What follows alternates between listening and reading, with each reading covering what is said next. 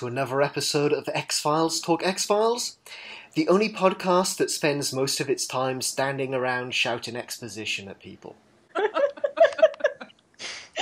that was the snarkier of two options, perhaps. Whether it was the funniest or not, I'm not sure, but that's the one we're going to go with. Hello, everybody. Uh, I'm David Harwood, and joining me today uh, from xfiles.news, I have Keva, Trish, and Jessa, who has shoehorned her way back in after that emotional goodbye we had last week. I demanded it. He had no choice. So, uh, thank you all three of you for being here. Thank you. And Thank uh, you for inviting us. we're here to do the last episode of the season 10. No, this is sad. My struggle too. Yeah, it is a struggle. The struggle is real. So just to just to sort of give some context to all of the listeners, um, I'm going to say that we have Keva over in the shipper corner.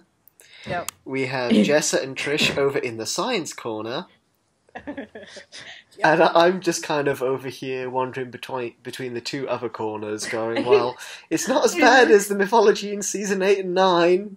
Can I be in the I like the myth arc, but what the hell was this corner? I can just like in the blue corner we got Keva, we got Keva going for the shipper, and in the red corner we got two scientists going. And David's over in the wine cellar. And David's in the this is bullshit corner. Okay. Yeah. I'm in the Ding, ding, switching ding. corner. David can be like the third of a referee. so Yeah. And and last week we were all saying, well, Babylon was quite a divisive episode, wasn't it? God. Not I. I, I will say a lot of coworkers of mine liked it. So Liked Babylon? both Babylon and um, this episode because you know I was asking them about, it, and they're like, "No, it kept me on edge," and they seem to be okay with a two-year cliffhanger. Man, I'm totally okay with a two year. I'm, I'm okay with a five year cliffhanger. Mm, We'll, I'm okay, not. we'll, we'll, we will get I'm we will get with into all of that. We're going to get into all of that. Okay, Let- sorry, let's- sorry. All right. Yeah. Listeners, if you only knew the struggles we've had getting Skype working today, so the amount of times Yeah. we've started conversations, gone, no, It no, no, we my got to wait until we're recording.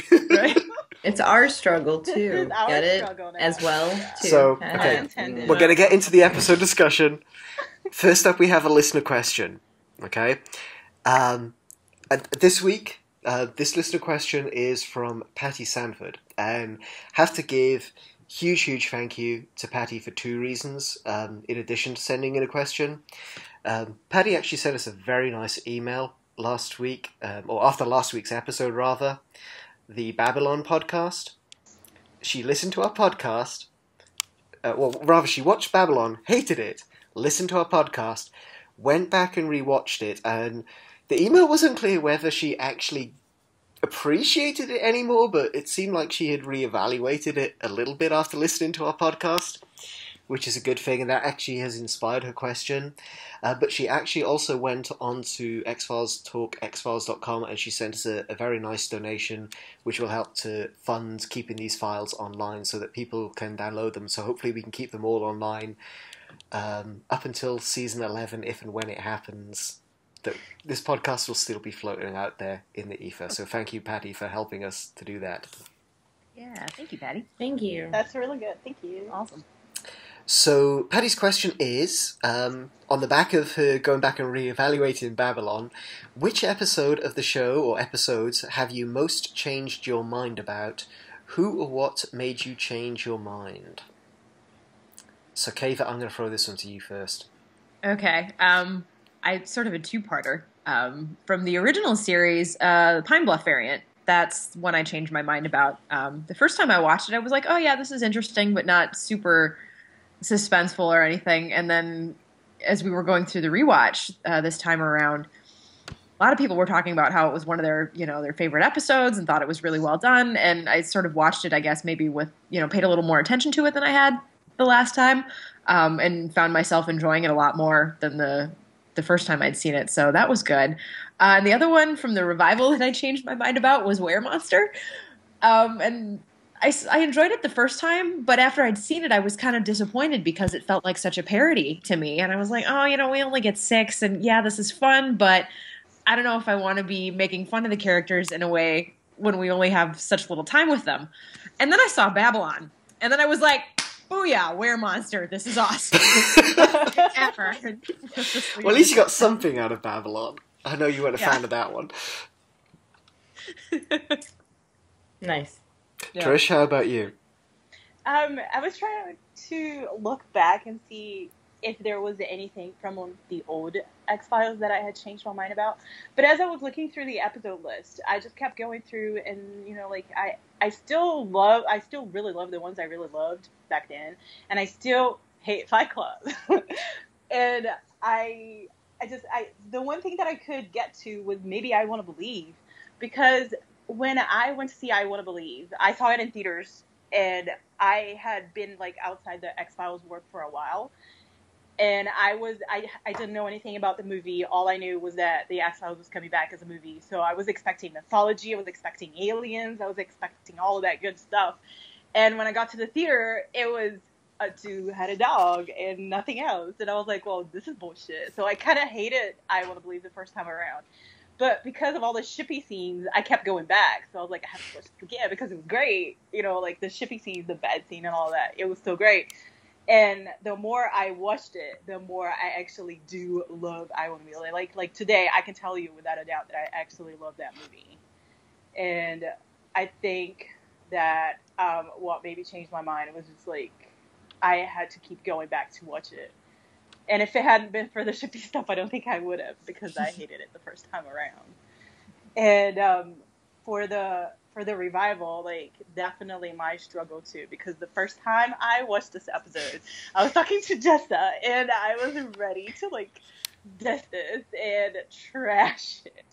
And then we talked to Anne and like it completely changed my mind. It was like uh 180 completely changed my mind about the episode. And I, I think I've watched like six more times after that, and I love that episode now. So, We'll get into that shortly. Jessa, how about you?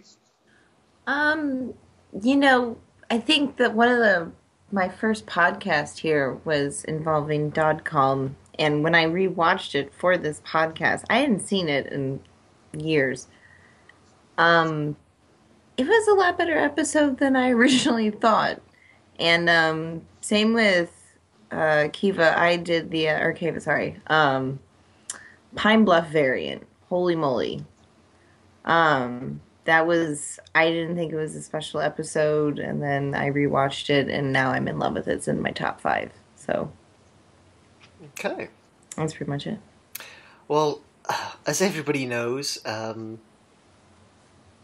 we had a very heated conversation on this podcast when it came to Milagro. I still fucking hate that episode, but I thought I would throw that in there. the two the two episodes that uh, that I sort of that sort of struck me when I read this question um, was Christmas Carol, which I never disliked, but it never really resonated with me until I watched it for this most recent rewatch, and just sort of thinking. And I, think you know, going in watching it the first time, I kind of knew that Emily was her child anyway, from thanks to the magazine or something. But watching it this time around, I was trying to watch every episode as if I was there at the beginning and watching it live before not knowing anything about it and stuff. And it just seemed like that was a really sort of powerful cliffhanger that it sort of ended on that realization that this whole episode she'd been driven by it because she thought it was maybe her sister's child and then to realize it was actually her own child. Huge huge deal you know in terms of the mythology and her personal story and everything. But the episode that has really struck me and has really struck a chord with me is having a lot more weight than I ever ever gave it previously is Dreamland 2. And mm-hmm. I've mentioned this on here before, but that scene in the bar at the end where Morris Fletcher is in Mulder's body and he sees his wife crying across the bar and he Yeah. realizes what a asshole of a husband he has been and how he's really hurt this woman that he vowed to spend the rest of his life with. Something about that scene, you know, he goes over to her and he talks to her and stuff. Something about that scene just sort of really hit me in a really powerful way, and it's a whole different side to Morris Fletcher than we've ever seen. And the sad thing is, at the end of an episode, he goes right back to where he was before, and then you know the next time we see him in the X File, well, two times later we see him in the X Files. He's you know sailing around in the Bahamas or somewhere with um, some girl in a bikini. Girl. Hits on Scully too. Yes. Yeah. Yes. So, So yeah, I, I'm that Dreamland Two. I think is the, probably the one that I would go with. That just that emotional punch that it has in there. Totally different way of viewing that whole storyline, and especially since Morris Fletcher came back in Lone Gunmen, and and later on a couple of episodes of the X Files as well. So yeah, that's my answer. Uh, I did promise on last week's show that if you send us some listener questions, um, we will get through all of them. We will answer all of them. I have Avi and Tiffany on with on the podcast with me next week. So if you send us in any questions by Facebook, Twitter, or you go to xphilestalkxfiles.com, get your questions in by midnight Wednesday Pacific time, and I promise that we will answer every single one of them on next week's show. Um, we already have questions from Robin, Bobby, Simon, Andrew, and David. So if you want to join them, please get your questions in. We will get them all answered. Uh, now on to the episode discussion. My struggle too, and I'm I'm just going to talk very very briefly, and then I'm going to throw this open because uh, these girls have been very very patient, keeping their mouths quiet until we got to this part, and I know everybody has a lot to say. So, um, basically, I'm just going to say that my first watch of this episode, I was okay with it. I thought it was kind of on a par of One Son. It kind of had that whole frantic kind of end of the world energy. I did the rewatch, and I was kind of bored to tears. Um, I, I think it's kind of on a par, actually, with the mythology of season 8 and 9, which listeners to this podcast know I was not that enthusiastic about. Um, and maybe on retros- in retrospect, you know, I kind of went into watching this episode and had fairly low expectations, so maybe that's why I'm saying low expectations because it was a mythology and I've come to have low expectations, the X Files mythology. Um, so yeah, let, let's let's throw it open. If you hear those pings going on in the background, it's because we're trying to get Kai into this conversation as well. So wait, David. So did you not? Because I, I was ju- I just listened to all of the other podcasts this week, right. and um, did you not like the mythology? What they did to the mythology now in this revival? I was I was very interested with what they were setting up in My Struggle One. Okay. Um, I I, I realize it's not a great episode because like this one, oh my god. I realize that you know, like this episode, they were very very pressed for time. Um, yeah, this episode. and they was they tried to cram they tried to cram a lot in, so it that's a problem with both My Struggle One and My Struggle Two. Yeah. I was very interested with My Struggle One where they were going. I was actually really excited, and I kind of, I think I even tweeted when I watched the episode live, the whole idea of there's going to be an alien invasion, except it's not really. It's just going to be humans uh, masquerading as an alien invasion. I thought, you know, that's just such an awesome idea, and it could be the start of a whole new TV show on its own. Okay. Little did I know it was the start of a whole new TV show on its own. See, I didn't like that. When I watched My Struggle one, I I hated that idea. I thought that I, w- if that was gonna be it, I felt like how because then I I look back and I was like, how are you gonna explain all that alien stuff? You can't. no, this you can't. It makes no sense. This is not right. I, I went like, back that- and forth, is I, still what that is still like my issue with this mythology this time Right. around. Like, even though I have good things to say about my struggle too, like I'm still pretty pissed about that. How I you don't get like. rid of all the, I think the there's a, aliens that we saw Like, in the black think- whale, in the gestation? exactly. like, ah, and the green stuff, like no, no, Right, no, no, no. the hybrids and and- and that makes me, you know, and, and that the the character of Tad O'Malley, like no, like how I didn't like that character at all. First of all, he was uh, kind of miscast. I felt I don't like that actor. He doesn't. I don't think he does anything for me. But like he just starts. He just comes around. They've never heard of this guy before. Mulder calls him a jackass, and then all of a sudden he's like he believes everything this guy says. It took him so long to believe all the shit that Michael Kritschgau was saying back Yeah. at the end of uh, at the beginning of season five, and then like this guy just drops like one line, and then he believes everything. See, Like, that's no. the biggest problem for me with both of these Oh. mythology episodes. Right. Is just it's just shoddy storytelling in both of them. No. because my struggle one, you know, Mulder has been in that house since what two thousand and yeah. Eight before two thousand and eight. 2008? You know, So since we last saw him in I Want to Believe, I'm assuming that he's been sitting behind a computer. He's been researching all of this stuff. My struggle one should have hit the ground running with him kind of on this new mythology angle. You know, it shouldn't have been about him yeah. meeting some guy who we never see again in the shadows, who's been not really drip feeding him See, I liked that guy though. Shut I up. liked that guy.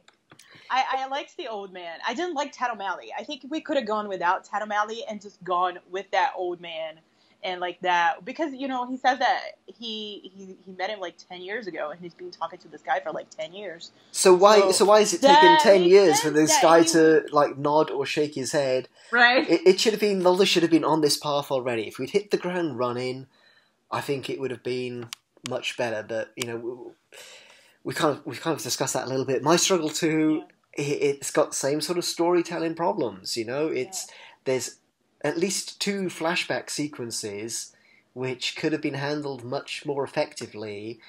And you know, my big problem with the episode is just the cliffhanger, which comes out of nowhere. I no problem with a cliffhanger whatsoever. I kind of expected it, and you know, well, I think I think I think it was coming, kind though. of public knowledge that it was going to end on a cliffhanger. Yeah. It's just the fact that the whole episode was about this virus, and then we can't end on a cliffhanger with, okay, is Mulder going to die? What's going to happen with the whole rest of the world that's infected? Suddenly a UFO just shows up out of nowhere because they have some excess special effects budget they have to blow on something. Yeah. And it See, just kind of came out of left field for me.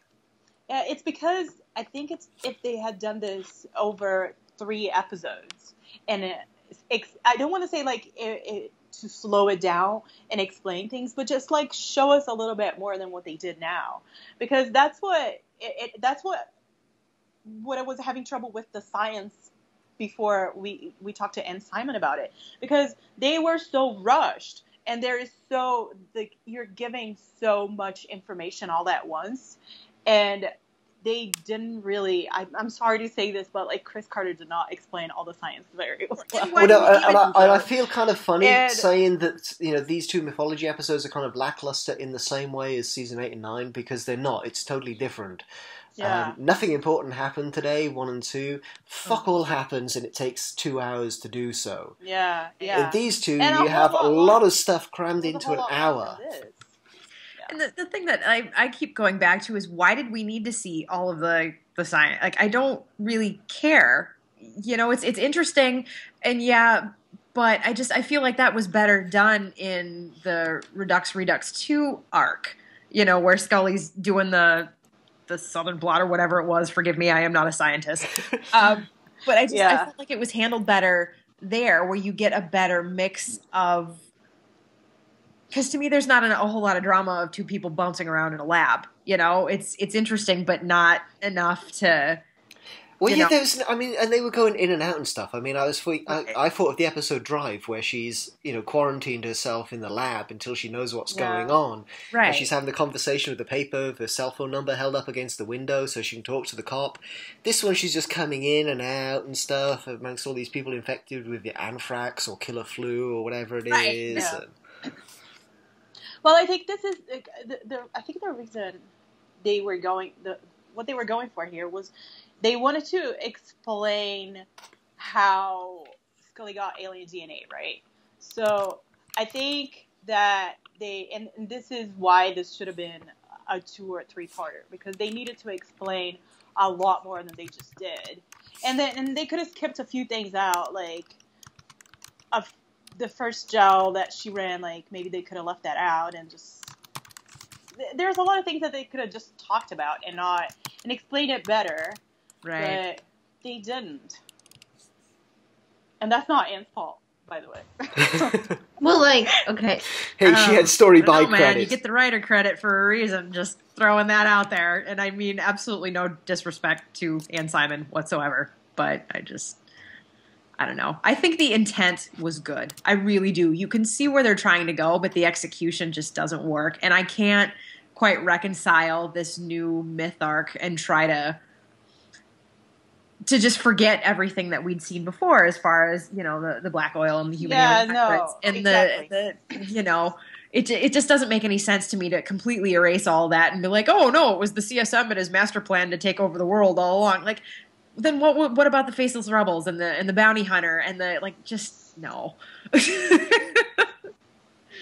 But I, I don't know, like, I don't know I- when I would like gonna say something that else, but This they could they could still explain all of this stuff. that's what I'm saying. I think we And then, can't we- say anything really. yeah, we can't say anything until we see what happens next, right? Because by all means, this you know they're all saying that this is all this bullshit that Tad O'Malley is talking about, but it may not be true. It may all be a lie, and it, this just might be aliens all along right. from the beginning. So, like, Yeah, you I mean- know. Th- See, I- that, that's that's my case. problem. That's one of my problems. Is that a lot of the stuff that I've read about. I mean, I don't hate this episode. I mean, like I said, I went in with low expectations.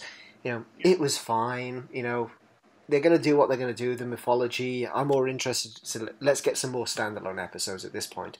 But there's been a lot of people sort of saying, well. And defending this episode, saying, "Well, you don't know what they're going to do next, what where they're going to go with this." And we shouldn't have to. We shouldn't have to have a cliffhanger that that swings on what they decide to do with this next. It should be a cliffhanger based off of actual tension as to what's gone on there. You know, I mean, the, the tension should come from the fact that all of these people are dying and how are they going to survive. It shouldn't be tension based on well, where are they going to take this? You know, and um, Tiffany and Garrett sent me. Um, a rather long audio clip this week, so I'm not going to play it out. But basically asking, you know, how is anybody still alive after this? How can they mass produce a vaccine to save everybody before they die? Okay, so this is, And- okay, and- so and- this is and- how we can explain. Before you answer, before you answer, I just Yeah. should um, say on Garrett's behalf, he stressed that he's not mad; he's just concerned. Okay, okay, so this is how we can could chime explain in this. something here real And- quick too. Yeah, go ahead. sorry just to say that the the other problem with you know how we say it's the tension comes from well what are they going to do with this? The problem i have with that is i mean for all intents and purposes the episode the uh, interviews excuse me that i've i've read from chris is that they don't know either. And and maybe i'm wrong maybe you know that you guys have discussed this with anne maybe you you know more than i do but i just i got this this sort of impression that he just you know he wasn't entirely certain where he wanted to take this either and that has me a little worried. But anyway on with the science Yeah.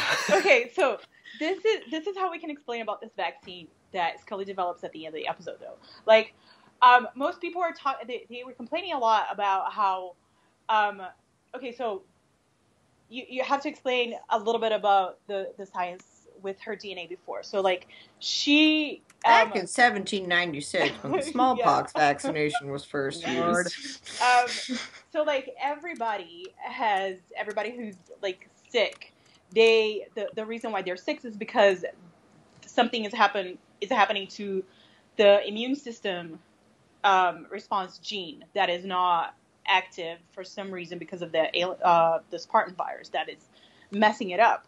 So what Scully actually develops, and this is this is where a lot of people are going wrong about this. Like they're thinking that the vaccine is going to cure and like add whatever was missing to those genes to fix the cells and like, get everybody back. No, like you can't do that. This is what what the vaccine is actually going to do is it's going to get to the cells that are still okay and make it not that the that the Spartan virus will destroy that gene and make the people lose their immune system response. So like what it, it basically what they're going to do is like give them a booster shot and boost up their immune system so that they can fight off whatever the disease they're getting from whatever vaccine they were vaccinated back then because that's how they got the disease. But in Mulder's case, he's way too far gone, and that won't help. So like basically, all of his cells are fucked up, and he like the vaccine won't do anything for him. But most people who are not that sick, like Mulder is the one that's like really bad. I mean, it is, he is like gone. it's- it's supposed to be known that he, or noticeable that he's sicker than everyone yeah. else. So like that's what. that's important. So that's the thing that Why is he sicker than so- anyone else? Well, And- that's what Okay, we can so that- speculate. yeah. I say black oil. I'm just Yeah, throwing me it out there. And I'm saying also- Tunguska. Doesn't he have alien DNA in him anyway? The Because he whole was- biogenesis Yeah, storyline? we don't does. though. Everyone. Don't know that though. Everyone like, good. Didn't like- Einstein say everyone had it? And no, this this could be like okay, so like old, older people are going to be sicker than most people too because they have low, they have weaker immune systems. But you know, like you can only speculate as what's making Mulder sicker. It could just be something because of the of, because he was exposed to black oil back then, or Well, it could be, you know, like the the brain surgery he had because back when CSM was trying to do stuff to him. So like we don't know. We get, it. but it's it's the one thing that we do know is that it is obvious that he's a lot sicker than everybody else. Right. and that, that he is caught it from Fowley. AKA Monica Reyes. Hey. Uh, We'll, we'll we'll get we'll get to the whole Reyes stuff. I'm okay, sure. sorry. go back to that as well. Okay, so like so Scully's alien DNA apparently comes from her first abduction, but she was also exposed to the black oil and got the vaccine just like okay, so that's another thing too. Like we don't know that either. We we we do know. Okay, so back in Erlenmeyer Flask, what they find out is that they there's like they find these viruses that have these extra nucleotides that are not known anywhere on nature, right? So like it's alien. They they find out that there's alien nucleotides in those cells. So you jump to Redux, and she's running those tests because they found the same cells back in those ice core samples that motor was that Mulder found in those alien bodies in Canada. So there, what she does is she runs a test comparing her own blood to that sample, and she finds out that whatever that virus has is in her as well, but she doesn't know where it's coming from. It could have been from the chip that's on the back of her neck. It could have been because, it, like Anne told us, you know, like she she made a point of pointing out to us that, like, how many times has Scully been abdu- abducted? So like, she could have got she could have gotten so many things into her body that we don't know of that she doesn't know of. So she she could have gotten alien DNA from a lot of things. I just feel like it was don't know. pretty heavily implied that that's where that it did come from that from, from the test that she underwent in that first abduction. And the other thing I think Oh, too, yeah, is I that they're also so. forgetting about you know Mulder's arc and biogenesis, and then again with his own abduction and how he you know was almost a super soldier until they they'd taken out some of that other virus. So there's so many things at play. But that could I have, you know, it, it, I see where you're coming from though. But like, whatever they did to Scully, it changed her at the DNA level. So that's how she has alien DNA and like So because so like what whatever she has could be different than whatever Monica Reyes has and CSM have, has like and whatever, whatever Gibson they has. and whatever Gibson has, definitely for sure. So um, maybe Mulder being exposed to all those things, like it didn't change anything at the DNA level, because the reason why she has she she claims to to have alien DNA is because she has like these extra nucleotides. Like she actually found in the beginning of My Struggle One, she sequences her entire genome, and this is the very first time she does that. So this is when she finds out that she actually has alien, like some anomaly in her DNA, and you jump to My Struggle too. and like she's going about this in her mind, thinking about all these alien nucleotides that they found in Erlenmeyer Flask and the test that she ran in Redux. So when she gets to My Struggle too, and she's running all those tests, and she she's thinking, you know, like that goes to her mind. She's like, I, I maybe I have those nucleotides in my DNA. So that's why she decides to run the test, and then later on in the episode, I think she says she finds that she's like, I saw it, it was in chromosome 17, but it's not actually okay. So this is the thing that they don't really explain. It's not actually in her DNA strand. So like her DNA strand is what codes for every trait in her body and like everybody else's body. Every protein and every gene expression, it's all in the double-stranded DNA that you find it in every cell in every white blood cell in your body. But what she actually has that is alien, like her DNA is normal as a human, like everybody else's DNA. What she actually has that that's alien is these little nucleotides that are floating around her cells that will make alien proteins. So that's why, like they they are their DNA. They're that's why she says she's she's got alien DNA because they make up a sequence of um, DNA that will code later for a protein. So that's what she actually has. And then I feel like they should have explained that because they didn't. And that's how. So like maybe she Well, like they we- put those nucleotides in through whatever they through whatever test they did back in whenever she was abducted or maybe it came from the alien technology and the chip that got on the back of her neck we just know. thought it was sort of weird that they she even played it off as being so surprised in my struggle one because we'd talked about this before like that you know the testing and stuff i feel like that came up again in the you know the, the end of the cancer arc you know when she found the the anomalies then and I yeah was, but she just, found like- anomalies she, she she didn't really like what she found back in redux was that something in her cells was hybridized with the viral uh, the viral DNA that they the, the alien viral DNA that they found. So like she didn't know that it had actually embedded in her DNA. So this was like okay, the first time I watched My Struggle too, I was like, no, this makes no sense. Like what, what like how exactly does Scully have DNA? And then when we talked to Anne Simon, like she explained to us that this is actually she actually has nucleotides, alien nucleotides. They are like two extra nucleotides that are not on her DNA molecule. So like that blew my mind. but because that's the I thought it's it's I thought that she mind had it on her DNA molecule. So like whatever she would do, it was every single piece of DNA in her body had that. But no, it's not. It's just like nucleotides floating around cytoplasm of your cells. Like Which that. all really cool and stuff, but you know, I just sort of feel like if you had to actually sit down and have a, two hour conversation with someone to explain all this, this isn't things that you've actually taken from the TV show.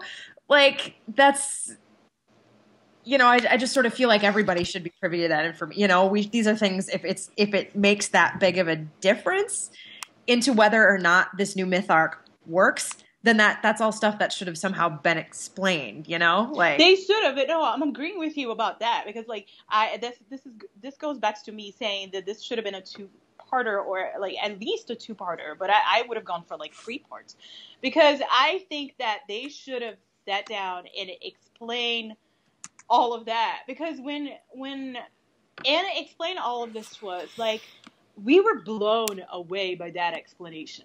Like I, I and I know like all these scientists can't relate to like my mind being blown away right now. Like I'm still blown away by all of this, but it's it's um, like the science is flawless in this, and I feel like we should have had at least two parts so that it would have slowed down a little bit, so that she could have brought all that in, and you know told everybody what this meant. I just don't know if I would have wanted that much more science. Like No, I mean, little, little less talk, a lot more action. But you know, I mean, so so the science makes sense, but does it make sense in any other kind of way? Because, you know, as I said earlier, it's kind of interesting the way that My Struggle One sets stuff up, but you know, even though you could kind of see ways that they could have gone with that, with the a with the ARVs and stuff.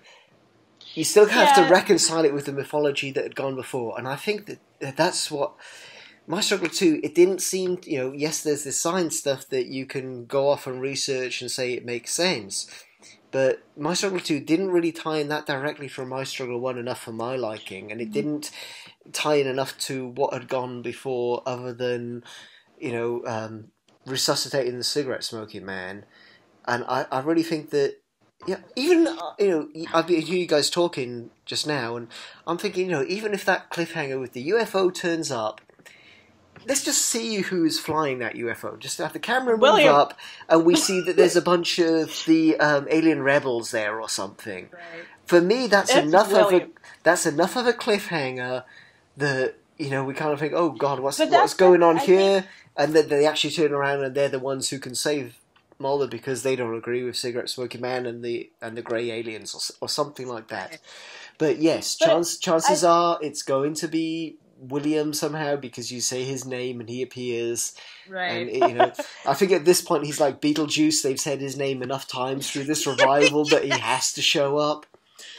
Um, and that's another thing with this whole revival is it's all been William this, William that, and then see that's that's what I hate about this episode because I I went in with low expectations. I went in knowing it was going to be something to do with William. He's going to turn up, and then that doesn't even happen. right. And you all know I don't not a fan of this whole William thing, but let's if we're going to talk about it, let's get it resolved and move the fuck along. on yeah and i just i don't and and maybe i'm jumping around a little bit but i do not buy for two seconds that after all of this scully would would sacrifice her kid's safety to save mulder i i do not buy it i mean that was the where whole is that? they Where gave is him that up. even coming She's from? kind of sacri- she's kind of sacrificing like everybody in the world to save Mulder Right. because like she leaves to go save Mulder.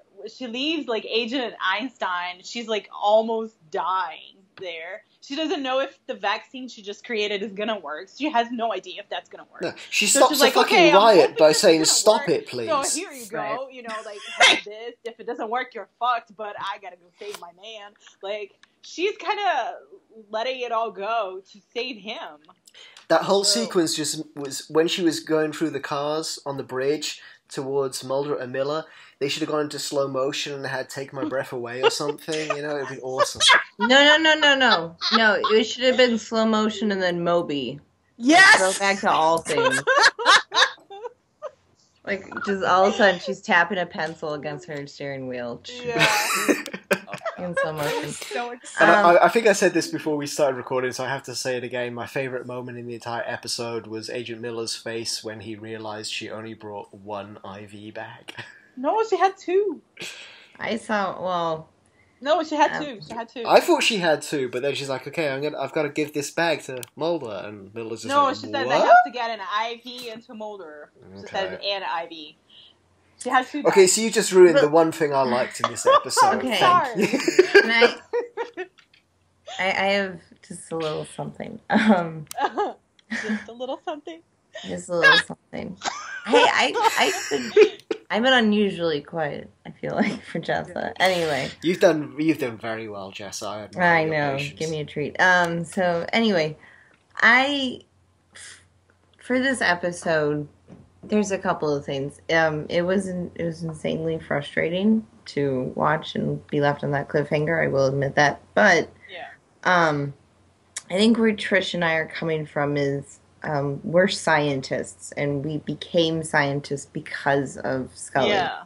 So when and I completely understand because the science is sound that I mean that and Keva is right. We had to talk to Anne Simon for over an hour to like completely figure Yeah. it out. And but you know what? To me that was extraordinary.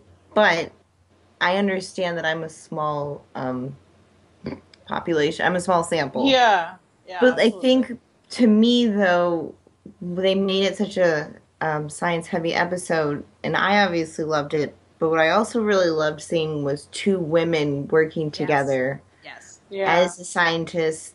They're they didn't have to, you know, they were just doing science, and that's the reason like I got into science was because Scully was such a badass. And so it was almost like a nostalgic throwback to like, you know, like look at because I remember in Redux, even though she manages to do a Southern Blot in six hours, which is like impossible, Yeah. but um, She has that random guy Don't standing there looking over Still- his shoulder. she still No, just don't looks get me started on so cool and like Right. and like I just I emu I wanted to emulate that, and so seeing her in this episode and Einstein, even though I mean I call them Agents Abercrombie and bitch, but um, but I call him I'm- Pretty Boy, Agent Pretty Boy. but even though Yeah, actually, I didn't mind her so much, but I didn't like. I her. didn't mind her so much, and then and. But you know what? Um, I really appreciated that Chris Carter had two strong women lead, not talking about a dude, working together. And you know what? They're the ones that solve it. And it was Monica Reyes, even though she's kind of a backstabbing person, although I still think she has a really. Diana powerful- Fowley.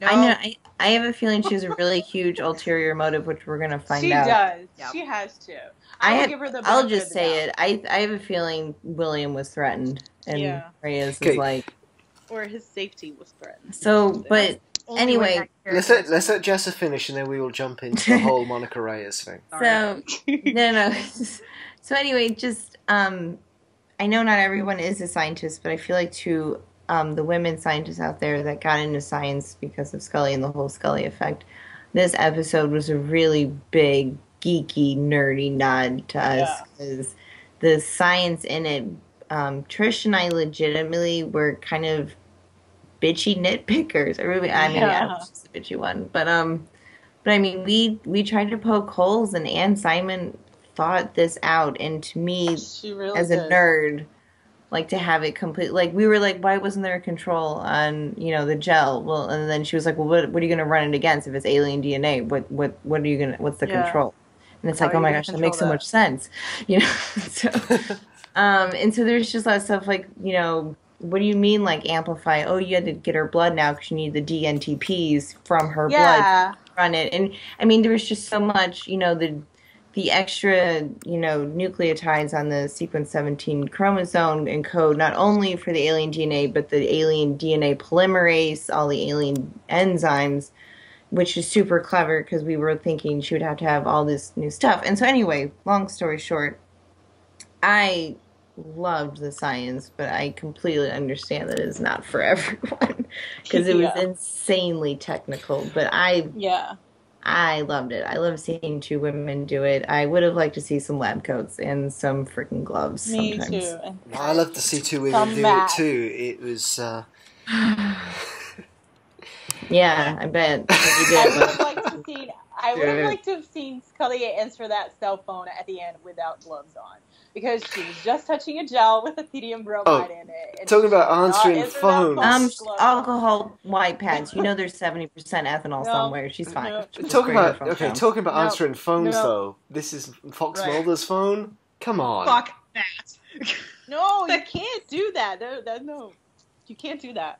And you need to be wearing masks too. I would have liked to have seen more than one or two people wearing masks. I'm sorry, She's yeah. like Yeah. thinking about A- anthrax. As I I'm said, let's quarantine quarantine. ourselves. No, and then like, the, lock the nurse. bitch down.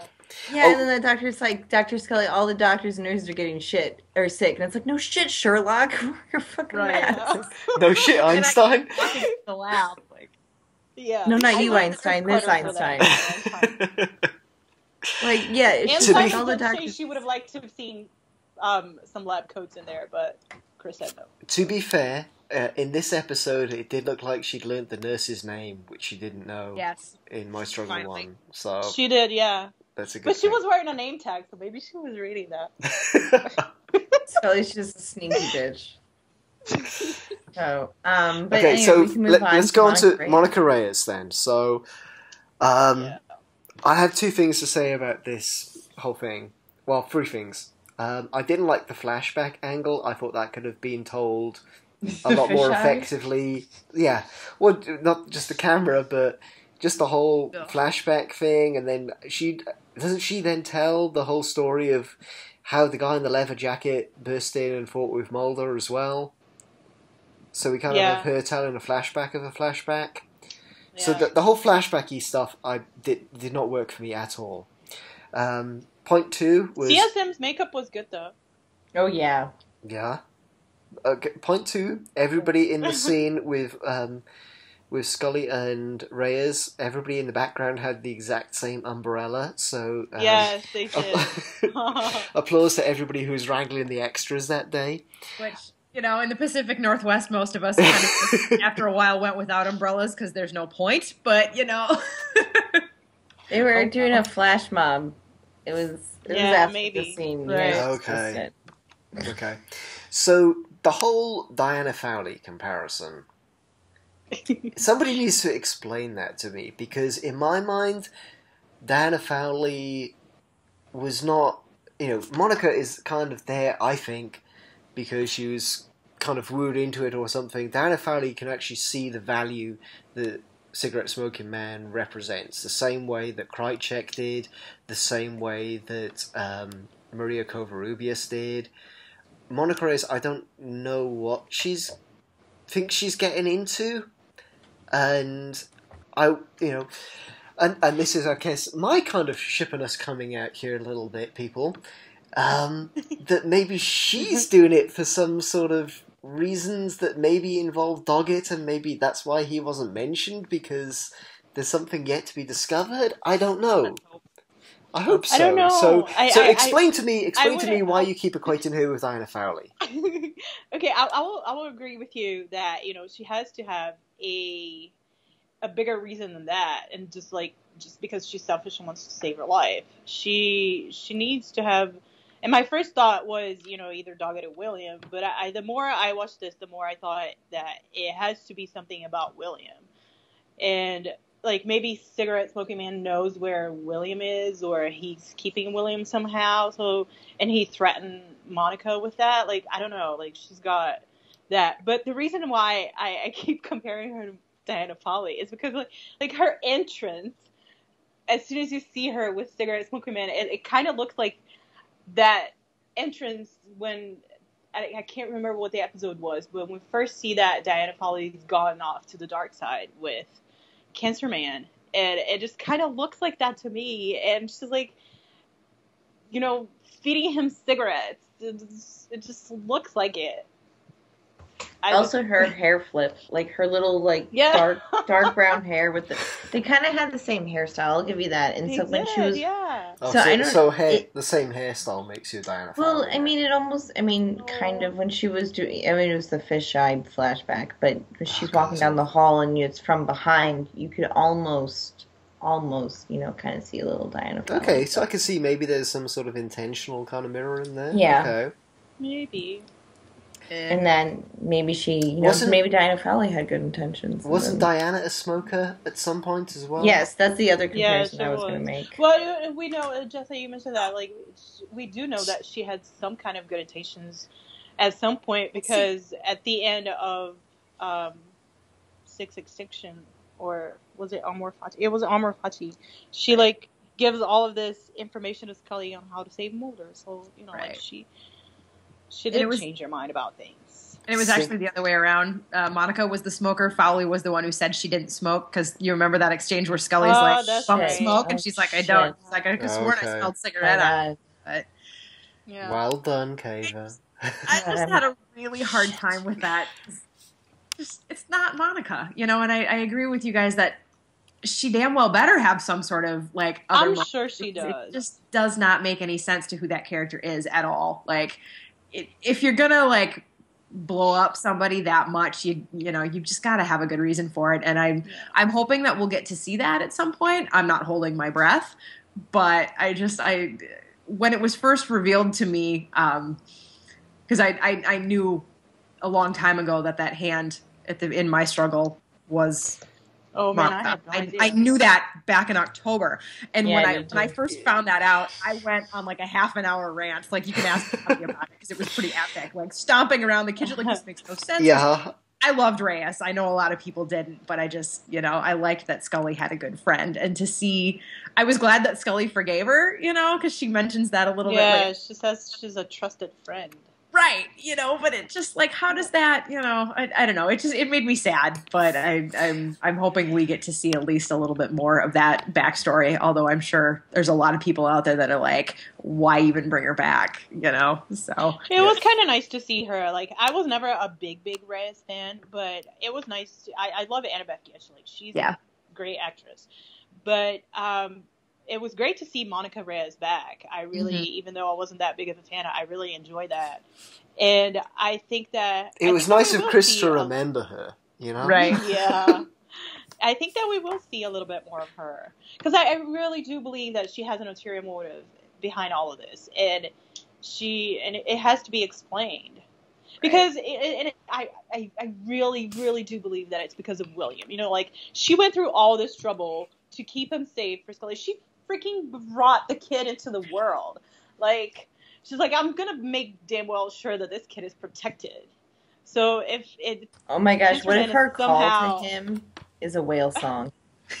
oh my gosh. Okay. Like she's she's feeding songs- cigarette smoking man like cigarettes, you know, but then she's like, mm, you That's know, got, and that's William's got to be her "Got ringtone. If Mulder's ringtone is the X Files theme tune, then Yeah. Monica's has got to Come on, no. What if Nope. William and Reyes communicate through whale song? I will lose Yeah. my shit. Be when when she called Scully and Scully couldn't recognize her voice over the phone, I was like, "Well, Monica Reyes, maybe you should have taken some whale songs. Maybe Right. Scully would have recognized you on the phone."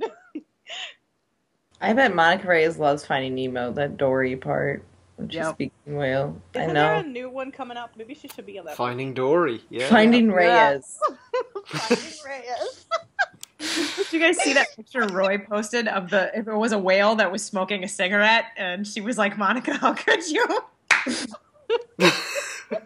You know, I will admit, when Mulder was holding the gun up to Cigarette Smoke Man's head, I was expecting him to fire, and the bullet just like three, like just turn around, like go around him or something. Because I'm sorry, if a missile can't kill Cigarette Smoke Man, I don't think a How great will. was that scene though? Like that was fantastic. I love. He turned Mulder into a and Cancer Man. skeleton. I wanted, I really wanted Monica to walk in the um, hospital room and it just be a pile of ashes smoking a cigarette. that Would have made more sense. we joked about that quite a Dude, bit. this man is never So- gonna die. Like he's never going to die, no matter what they do to him. He maybe he's a clone, like a. Samantha clone from season two. Like Let maybe... me just jump in here real quick. Um, No. Jessa Trish, did you know the whole Reyes thing before seeing this episode? No, Yeah. I, I went into this revival completely. Okay. I, okay. I knew. what it was. Yeah, Avia told me, I think, before we watched My Struggle one, so I kind of knew that this was coming, and we've been very careful not to spoil anybody on here. So, okay. Yeah, I was I just know. curious. I knew Yep. nothing. So Okay. So, um. Okay, oh, I have a, one thing though. Uh, what a missed opportunity it was to not have that assassin, that Cancer Man sent beat Krychek though. I was. was I tweeted that. I tweeted that. I saw the leather jacket, and I thought, okay, we've seen him in that montage at the beginning. I was like, oh my god, like how amazing! It, like As soon as we I- saw the back of his head, I knew it wasn't him. I knew it wasn't. I knew it wasn't him because you know, like people weren't making a big deal about his name being in the revival. But like, I was hoping because I I knew nothing about this revival, so I was like, oh my gosh, maybe it is him.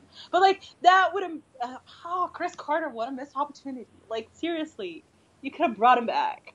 Nobody ever died. And that's- that's So, what we needed. This- Krychek. This whole cliffhanger thing, I keep going back to because that's the thing that bugs me, and I, I'm going to talk Maybe about that a little bit more. driving that UFO.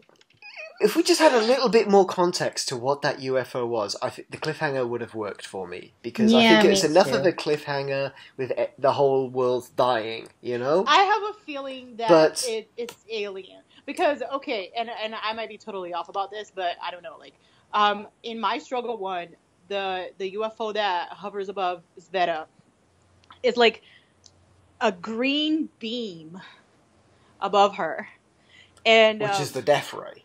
Yeah. now the So, blue beam is the one you want to be under. Yellow So maybe- fine as well. yeah. So this one was blue, so maybe that's aliens I just- and not government. You can't you can't have that episode, and this is what bugs me. You can't have that episode with the cliffhanger then being this UFO shows up out of nowhere without any context to it. If you if that's what the cliffhanger is supposed to be, is this UFO, you've got to have some context to it. And there's a couple of things I want to talk about here. Um, first of all, I want to have the context to it as to what is this UFO. And since it's not been addressed in the episode until this point, show us at the very end and make that the cliffhanger. So I would have been happy if we have Krychek hanging off the pilot seat and he's with back, William. He's back with CSM. We have William there doing the whole Kylo Ren thing that he's been raised by his biological grandfather, Grandfather. Which have been fucking awesome. And I, and I honestly think William is going to be the Kylo Ren of this franchise. That's that's my prediction for season eleven, folks. Or you have the the faceless alien rebels showing up, but it, it didn't work for me. The cliffhanger should have been for me. Mulder's going to die because that was kind of um, suggested, I think, by Babylon. Um, that Mulder was maybe going to die, and I even mentioned it on this podcast. That you know, so that would have been a good enough cliffhanger. That No! the whole world is going to die. Mulder's going to die. Why have that UFO coming out of nowhere when it's got nothing to do with everything else that's gone in for that episode? Then what are you Um, like? We wouldn't have had season eleven. We would have a season eleven because the cliffhanger is: is Mulder going to die or not? But we've Well, I think it still that. is though. I'm not saying he does die, and that's the cliffhanger. The cliffhanger is make it about the vaccine. Does the vaccine work or something? They still don't know that though. Exactly. So it would have been a fine cliffhanger without having the UFO come flying in out of nowhere. Do you get what I'm saying? Oh, I why do. why, I why do inject completely. why inject the UFO into all of that? Because I think it's it's a perfectly fine cliffhanger to have everybody in the world dying by some disease, and Mulder at the center of it all is iller than most, and that that's the cliffhanger is is Scully able to cure everybody? Is she able to cure Mulder? How do we come back from that? You don't need that UFO coming in without any context as to who or what it is piloting it and what their intentions are.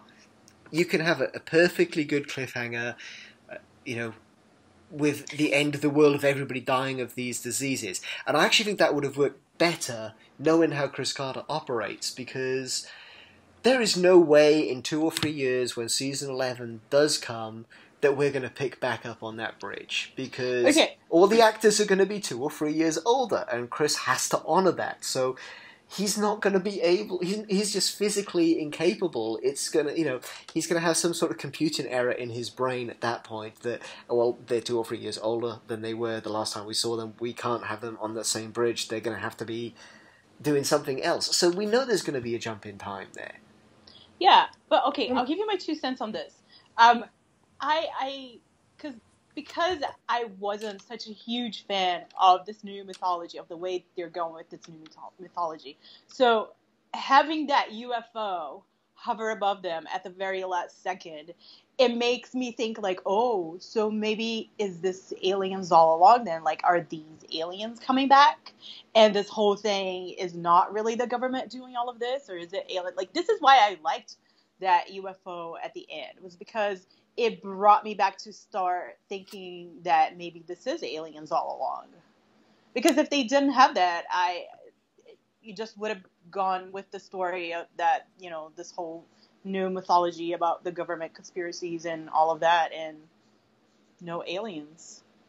And the only I- way I that, really that, that works for me is that if it's if it's the rebels who have the UFO Mhm. and that they are coming and they're going to come and put a stop to this or something, and that CSM it actually is dead, and it's an alien grey or maybe it's the bounty hunter who is morphed into CSM in some kind of noseless state because that might be more believable than him having a nose these days.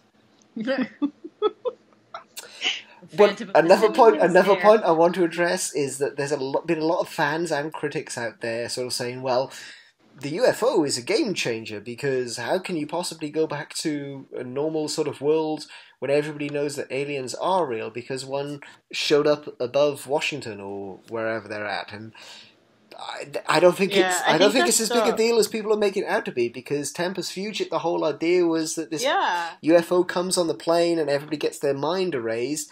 if it wasn't for the damn military fucking everything up and impatient X and stuff. And there's plenty of precedent in the show's history where a UFO has shown up publicly and nobody has any recollection of it, and it doesn't change the world. So I don't know if I'd That's- call that's gotta be a Antarctica good thing. public, but okay. I'm Well, kidding. but I also don't think you can come back from a global pandemic, right? You know, how do you come back from this thing where you know? This Really, is this is another one of my fears. They're going to do the same thing they did between season two and three of Millennium, and say, "Oh, it wasn't actually global; it was just in DC." Right. You could though, because the ones that are immune are gonna survive. Well, It's then, not okay. just Scully. Here, here's who's surviving: Scully, people who did die from cancer that should have died Oh, from Jessa, cancer. Don't go there. I'm going there. The Amish, because they're not vaccinated. And they and they might be alien um, according to Genderbender. right. I thought of that actually, but yeah, the Amish are totally cool, and sadly, the anti-vaxxers are right for the wrong reasons. Which that was another. I was very surprised they went that direction, considering how science heavy this was. Like, we asked actually about that because we kind of said like, well, why are I'm you curious to see what fire? that response was. You could Um, repopulate the world. with the so we were- we- we said- we said, you know, the- disaster waiting to happen. That was a little close to home, especially since you know science has wasted millions of dollars proving you know a paper that's been redacted. Anyway, Yeah. she said that that's why they specifically didn't like bring up um, MMR, measles, mumps, rubella, which is what we all usually get as kids, and why they said anthrax, Yeah. um, because you get that as an adult. And so um, she said that that was why I guess they they didn't mention any child vaccinations. but But um, honestly, when you get vaccinated with measles, um, it is a live strain. So in theory, um, if we were all living in that present day, and you know our immune systems got jacked, um, possible one of us could get measles. So like everybody who's been vaccinated for whatever disease would literally die. Of And because they mentioned that it was in the germ cells, that means that it would be passed on Yeah. to your children. So, like my both my parents were vaccinated with the smallpox vaccine. So even if I was not vaccinated, I would still have that thing that would attack the ADA gene, which is your immune system enzyme, um, because my parents. So right. So that was essentially implying that the smallpox vaccine was bad.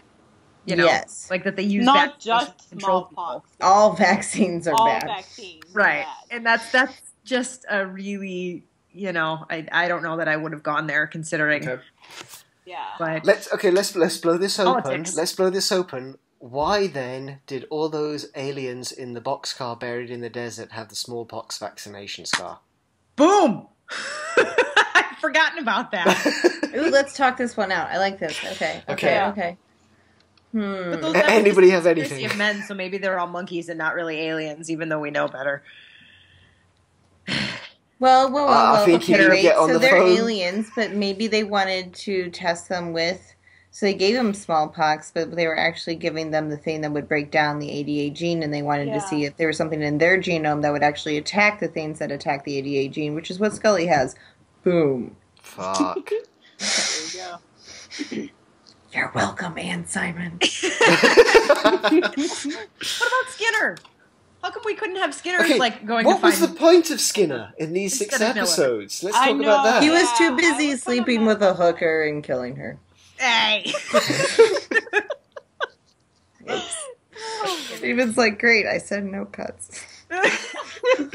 They, they just went to Mitch Pileggi like, hey, do you want to come up to Vancouver for six weeks? You're going to be in the X Files again. He's like, oh yeah, sure. So what am I doing? Okay, well, you have a couple of scenes with David and Gillian, and then we just want you to clean in a, a bathroom with a toothbrush for four weeks. right like We just want you to clean the bathroom and go shrimp biscuit, shrimp soup, Yeah. shrimp, like all Forrest Gump. Um, I also really liked. Um, I s- just thought of this when Scully was driving. okay, Oh, when she yeah. was driving, and she was basically. I just heard ludicrous, "Move, bitch, Yeah. get out the way." Yeah. Oh my god. Like, I'm sorry. Too. Like, But here's the other thing that caught me. she, when she drives up on the sidewalk and someone's leaving a legitimate parking Yes. driveway. she like flips him off like And, and, and they back out of the way, like, oh yeah, yeah, you're right, I'm at fault. Yeah. She's like, I'm trying to they're- drive on because the it's sidewalk Scully, They're gonna back up for Scully. She's gotta get through, man. Right. She's As like a looking at him like he's an idiot. Rage, Like, she's like, what the hell? I'm trying I'm to break the law here. from Move. Shauna on Twitter. As she, I believe her, her, she goes by the binge queen. Her handle is like it looks like marathon sufferings or something like that. But as as she would put it, I am Dana Catherine Christ Scully Mulder. Get the hell out of my way. Yeah, yes. I Yeah. gotta get out of her way. Okay, Move, bitch. I have a couple more way. points that I want to try and get shouted through. that out as I was watching that scene. get out the way. I borrowed that hand gesture driving in LA. Oh. I do that all the time. Like that is like Scully driving. That's like her road rage is me. Like she is me. That is me driving. Okay, I think that'd be adorable to see Scully just be talking to Mulder scientifically, and then all of a sudden be like, "You stupid idiot! God, can't you, learn how to fucking drive, Grandma?" She turns back. Yeah. So anyway, Mulder, I was wondering. okay. I have. I have two things I want to touch on, which are, are not connected anyway. But um, I, I don't know which one to do first. Let- Let's let's do this one. Um, Scully morphing into the alien at the end of the teaser. Yeah.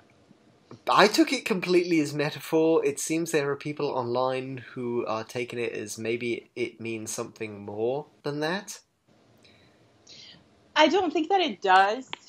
I think that that was like showing us her worst fears because I think that's what she fears the most is that she is. And maybe it would have played better if we had had um, Founder's Mutation directly before this. right. Yeah, And She maybe. was that being her nightmare. Yeah. I just sort of Look at that was took easy. a- like a, a hey, check this Yeah. out, check it out, see what our special effects can do now, Yeah. kind of thing. Like, oh, hey, this is really cool, alien DNA. But yeah, I didn't take that as like- as May as well throw this in if we're going to have a UFO at the end. right. And um, Yeah. also kind of wonder, and this is for you XFN guys, when you start doing interviews with people um, for the next go around, whatever that is. Yeah. I'm very curious what David Duchovny's reaction to this episode was because he famously wasn't a fan of the blessing way and having Mulder kind of be unconscious for the entire episode and Scully be the one running around doing stuff. And especially after My Struggle 1, where it kind of changes everything that the mythology is, the you know, I'm kind of curious what his kind of thoughts are. I know you're not going to be able to answer this question. I'm just kind of saying. No, no, Yeah. no, no, I'm, no, I'm kind of promise. curious I'll- what get it. what I'll that kind of um, you know what his kind of thoughts on that were, and he might be a lot more mellow about it this day these days, and just happy that he got paid for a full episode without having to do that much. He did have that epic fight scene though, like that was yeah. That was really cool. ass. That was really cool. it would have been better if it was Krychek, damn it. Yes, and it would have been better God if okay. I, Why? I, I've been resisting talking two about people- this. Okay, there's two people. There are two people in this whole revival that oh, I really, I really got pissed off that they weren't back, and that was Krychek in this Yes. episode, and the other was Gibson Praise in Babylon. Because if you try to read somebody's mind to see what the fuck is going on, Oh, hello, that bring a have little kid that can actually read somebody's mind, not send Mulder into some freaking mushroom tripping. Mulder I- just want an Yeah, excuse to do shrooms. I No, loved Babylon. Uh, Gibson would have been better for that. No, And well, then you can tie or that even to you know reignite as well. Mulder's mind reading ability from from the end of season six. You know, he'd he'd had that uh, that He kind of Yeah. lost that though. well, maybe maybe because he, he had a did bit of his it. he had a bit of his help of brain cut out. So I know. I, I I I have a feeling that he he kind of lost it whenever he got better. Because remember back when he comes back in Dead Alive and the like Scully says that whatever neurological disease he was suffering from, like it was no longer detectable in his brain, whatever. So like maybe that's what gave him the ability to read people's mind, and because he no longer has the well, he also Problem. had a big chunk of his brain cut out and put into CSM's yeah, head. so maybe it was in there. Who knows? I'll ask. No big deal. Hey, David. I was what? No, sorry, I meant David. No, Duchovny. no, Okay. she's sorry. Just call him up. I feel like an ass. I'll just call him up, and yeah, we're on a first name basis. Hey, David, it's Jessa. Listen, um, I want to know about your thoughts on that, and also, um, Oh, what else was I going to ask? Him lying around in the episode, and I forgot already. Yeah, I'm not the person for this job. It, it, I was kind of thinking, you know, when I was trying to get my notes together and stuff on this episode and trying to get some sort of cohesive thoughts. And I apologise to everybody out there listening to us rambling and talking over each other for the past hour. Um, but I was kind of There's thinking, so you know, much to say about this episode. The whole- Like, the whole I, could seriously talk about this for like five hours. I know, I know, but, But the, the whole really, flashback, the whole flashback issue, which I mentioned earlier, when Monica comes in and she gives us the flashback to her meeting CSM in the hospital, and then she sort of tells us what happened with Mulder and the guy breaking in and stuff. And I'm just thinking, how much different would this episode be if it had had Vince Gilligan at the helm? Oh. Because you know, if you look at it Breaking Bad, Better Call Saul style, this Oh. episode would have ended with Mulder on the computer, goes downstairs, makes himself brunch, and then all of a sudden some guy in a leather jacket just breaks into the house and starts fighting him. Yep. And that's how the episode would have started. Do you know Yeah. what I would have liked? we we I, I, I wish we would have gotten. I wish, yeah, like those two people are missing, Vince and Frank. Frank. I really, I And think this episode. No, I mean like writer people, not extras. I mean, I think we could have used some Frank Spotnitz in this, and and Vince Gilligan. That that is my my one thing about this. I revival. Want, if we're going to have a fight with Krychek, can he pull off his own arm and whack Mulder with it? oh no, oh, That's- Jessica, maybe If maybe CSM you can pull are. off his nose and throw it at him, yeah, they're just throwing body parts at each other. It'll be great. Maybe he grew a new arm, you know, like Leonard Betts style. Oh, let's not even go there. Talk about the best cliffhanger ever. I'm sorry, but you've got something I need. yeah, you know, like, Yeah, okay, I was think. yes. I think since they were pushing William all season, there is some, well, I really do believe somehow William will be involved with this spaceship Well, because it's like almost Yeah, too really- obvious. But they should have been slightly more obvious. I just wanted them to get the William stuff out of their system, so I was giving them this season. William was mentioned in pretty much every episode, so I, you know, I was kind of building up to it. Okay, William's is going to be my struggle too. Let's just get it out of our system and move on to whatever is next. And at this point, in case you can't tell, I don't care what they do with the mythology. Just give me some more X Files because I'm enjoying the standalones.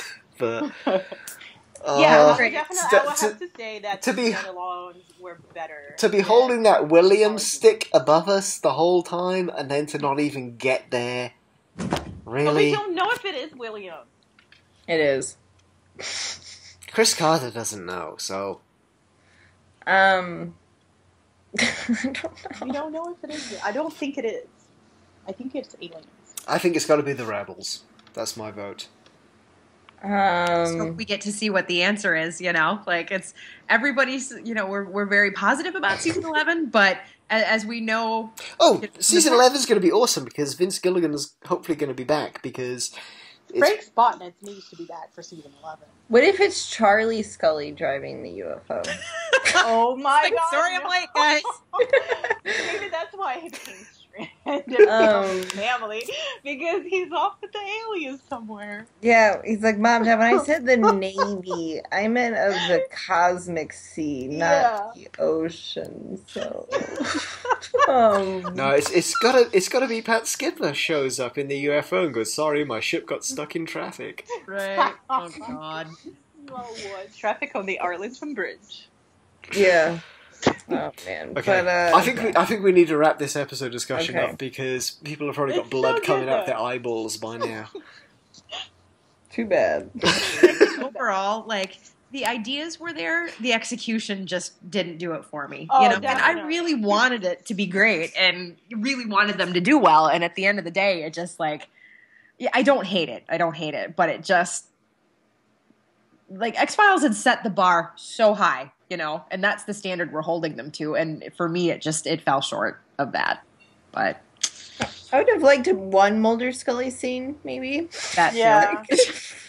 like one. That would have I more than one because we did get one at the very end. Well, That was, like, okay, where not he's not mumbling, like Yeah. you know, and she's Well, like, no, "Here, no, drink this mumble something Gatorade." Really cool though. Like that was a good line when it said like, "Oh, spooky saved you." That was good. I like that.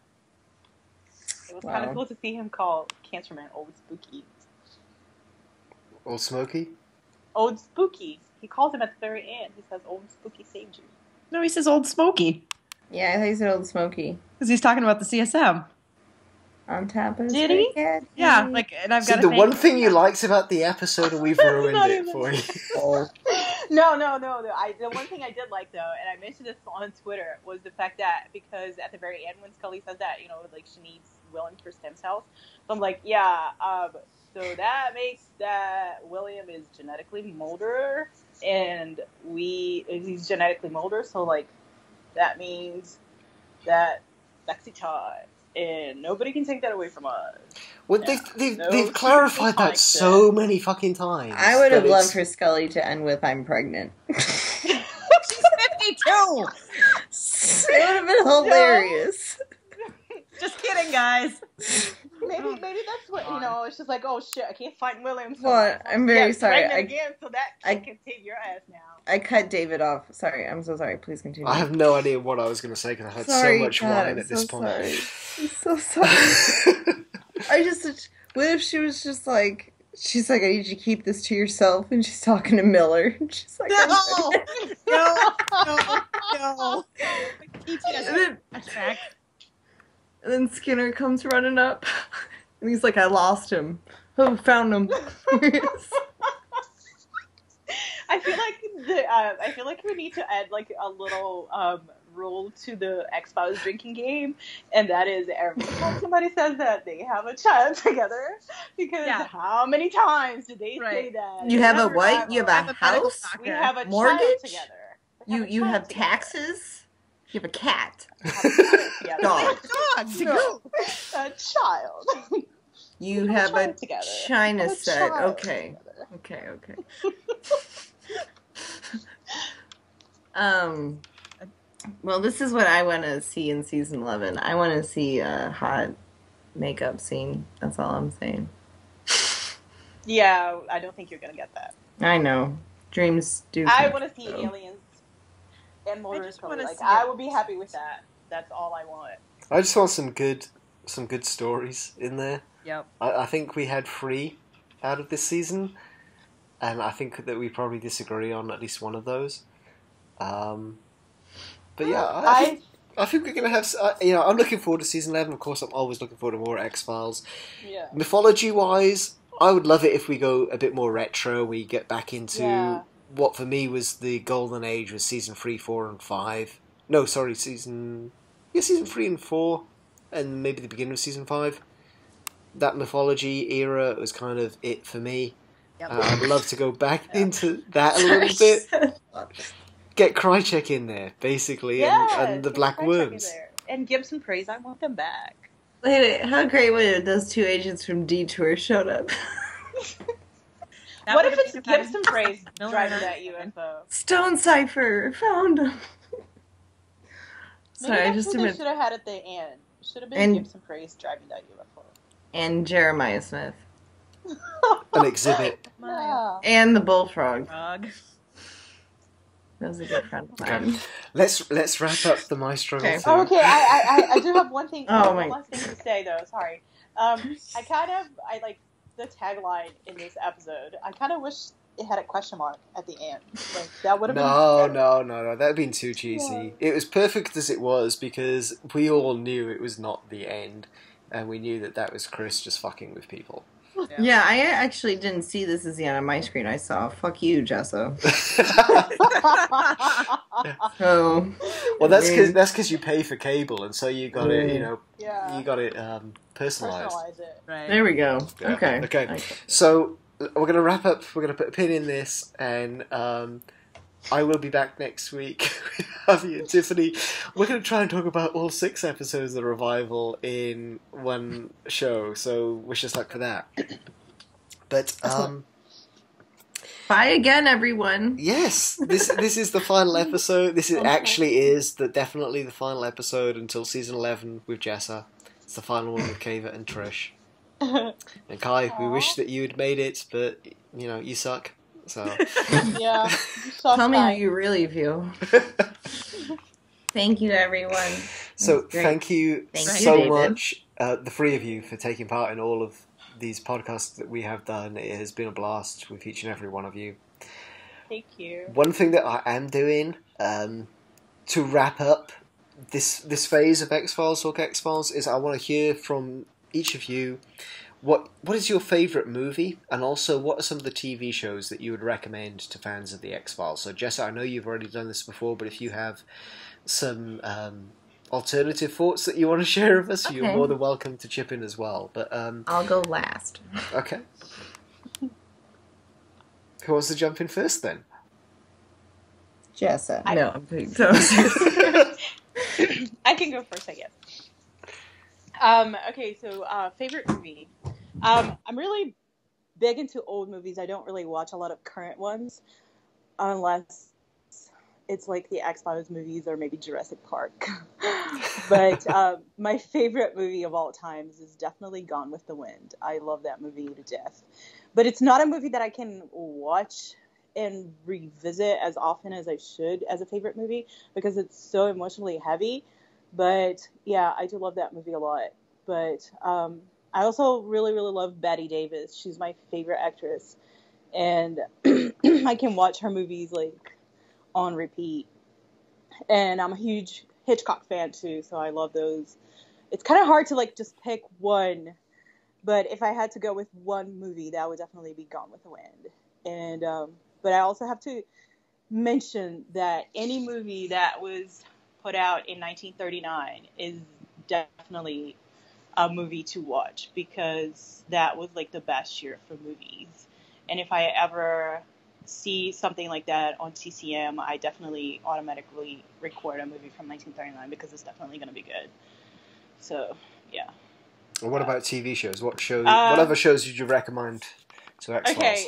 Other than like the main, the most obvious choices, like you know, like anybody who's involved, who's involved in the X Files back in the day, if they have anything new, I will definitely watch it. So like Breaking Bad and Homeland. Um, I really would like to give a shout out to like The Sopranos too. That was a very good show. And uh, Battlestar Galactica, I really really love that show. Um, but if I had to like go back and and look at the not so obvious choices. Like there is a TV show from the early 2000s called The 4400. I don't know if any of you have watched that, but that was a really good show. It's basically about like these people that had disappeared all throughout different periods of history, and they like 4,400 of them. They all appear out of nowhere in the middle of nowhere, and they need to figure out what happened to them. So it's kind of like it's it's a sci-fi show, and it, it kind of like makes you think about a little bit of the alien stuff in the X Files. So that was kind of nice to see when I was watching that. Um, there's a, a show that it's not a show; it was a mini series back in 2002. I think it was put out by HBO called Taken. It was by it was produced by Ste Steven Spielberg, and that was a really really good mini series too. And it was like basically the old alien mythology story of the X Files, But with and it was Neeson. really nice. no. no, no, no, no, no! Don't even go there. Um, oh, that yeah, would so be like amazing. it's it's it's it's just a little mini series. I think it was only like eight or ten episodes, so that that's definitely worth watching. I really liked um, Glen and Darin Morgan's show, but that got canceled. What was that called? Intruders. That was a good show, but that got canceled. So yeah, I think that's it. Jessa, anything to add from last week? Um, I would like to say that a phenomenal movie is Terminator 2 Judgment Day. Ah, And that's about it. Is that the one with Robert Patrick? Um, I, I'll, I'll talk about it a little bit. It is the one with Robert Patrick. It also has like the best helicopter chase scene. I mean, that guy goes underneath a bridge, and Robert Patrick is like one of three actors in Hollywood that does not blink when he fires. Um, I mean, they're blanks, but they're guns. Like Clint Eastwood, Robert Patrick. I forgot who the third guy is. But if you notice in the hallway scene when you know when Arnold Schwarzenegger drops the roses and he has a shotgun, Robert Patrick is firing blanks, and he's not blinking. Now I don't know if you guys have noticed when Scully fires a gun, Oh yeah. she's like looking the other way, twitching. Like you just expect her to like throw her gun at one point. She's like, "Oh God." ugh." Um, but so anyway, yeah, Terminator Two: Judgment Day. That's all I'm saying. Keva, you're up. All right, I, I have sort of strange taste in movies for an X Files fan. I think one of my favorite movies of all time is Garden State. Um, but I am also a tremendous Ginger Rogers, Fred Astaire fan, so I will watch any of their films Yes. over over. Yes. Top. Those I can't so answer myself, so that's where that comes from. I will watch Singing in the Rain anytime it's on, and I've watched it probably more times than I should admit to. Um, so those are kind of my favorites. 42 times. What about TV shows, Keva? Anything that you can shows? recommend? Um, I love Twin Peaks. I'm so excited that's coming back. Me too. Um, When is that coming back? 2017. Um, I, I think Oh, it's going to be very early next year. So Yep. I need Yep. to watch that show. So looking looking forward to that. Um, and I actually really like Scorpion, Robert Patrick's um, new show. It's they're in their second season. It's just a lot of good fun and and not necessarily plausible all the time, but the characters are so enjoyable to me. It's it's been fun getting to know them. Um, and I, I sort of have a headcanon that uh, Robert's Cabe Gallo is is that's John Doggett in the witness protection program, so he's he's moved out to, to things with Homeland that would security. be cool. I love Uh, personal headcanon. yeah so that's that's just kind of uh you know for me. I also really like six feet under. I started watching that again Oh, um, yeah, that was a good rewatching that not too terribly long ago. And it's it's funny because i don't watch a lot of stuff that's current you know. I tend to go back to my old favorites clearly. But yeah that's sort of so i'm also open to suggestions you know. You got you know stuff you think we should be watching? Bring it because i need a few more I'm going to be making my suggestions um, in next week's episode. So. Oh, The Killing. People should watch The Killing. That was a good show. Oh, you know Broadchurch on Netflix with um Oh, Doc- yeah. the Doctor I've Who guy. See, I watched the first started watching What season. his name? I watched the first season and David it, Tennant. it There lost me before the end, but I did finish the first season and yeah Um, Yeah. jessica jones jessica jones that was the other Oh, one Jessica Jones was Oh, good. I watched that. They Okay. had such like I'm a huge film noir fan, so like I, it was great to watch that show because it has a great film noir feel of it. I Yeah. loved it. And Krysten, what's her name? Krysten Krysten- Ritter. She's Yeah. so good in it. I can't unhear the way he says the word Jessica. So every time I watch Jessica Jones, it's like Jessica. I don't know. It's just weird, and it's like, oh god, the the doctor's yelling at me. What? I'm sorry. What did I do? so anyway, so that is it. Uh, thank you, Keva. Thank you, Trish. Thank you, Jessa, for everything. thank you, David. Thank you for putting up with We'll us. be back for Steven Eleven. I know. Sooner rather than later, I hope. yeah. I want to believe. So, listeners, I Yeah. will be back. We are going to do one more episode next week. I'm not sure if it's going to be Friday or Saturday that it'll that it'll drop, but it'll be around that sort of time. Um, I'm going to have Avi and Tiffany here, and we're going to talk about all six episodes in season ten in its entirety. I do believe that Garrett will be joining us at least for a portion of it, which I'm sure will be very cathartic for a lot of people. and I can also confirm that we do have a couple of special guests joining us as well. So you'll have to tune in to find out about that. In the meantime, go to Xphiles, talkxfiles.com, or just go to davidtharwood.com. Either way, you'll get to the same place. Send us some listener questions. We have about five or six already. Any that we get before midnight Pacific time on Wednesday, we will answer. You can also check out a little story that I am writing on there, one chapter per month, uh, called V's. So go check that out too. Um, if you don't want to go there at all, then you can still send me a listener question, or you can connect. Um, otherwise, for whatever reason, via Facebook or Twitter, I'm David T. Harwood on both of those. And of course, go to xfiles.news and follow them on Facebook, Twitter, Tumblr, pretty much everywhere. Yep. Stalk us. And um, I have to admit that I realised at the 11th hour I hadn't actually written an ending for this week's podcast. So, uh, since I don't have the budget to fly in a UFO to distract everyone from that fact, I figured I'd just steal one from another podcast instead. Better Call Saul's writing staff.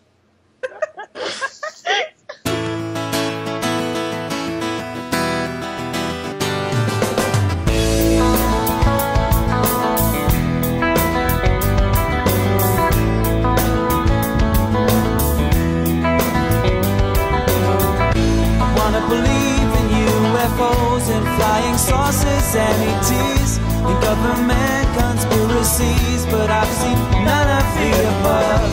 If I did, I think I probably would run a million miles, lose my little mind.